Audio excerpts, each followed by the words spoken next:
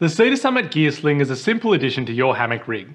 It allows you to keep your pack off the ground and essential items within arm's reach. Reflective 3mm cord runs through the hammock throat, allowing easy attachment to your hammock. Running the cord through your buckle system provides easy setup and adjustment through the included cam. The ripstop nylon sling will hold up to 22 kilograms, ensuring that a good book and a beer are never far away. It includes a compact Ultra-Sil stuff sack for quick pack down and ease of packing.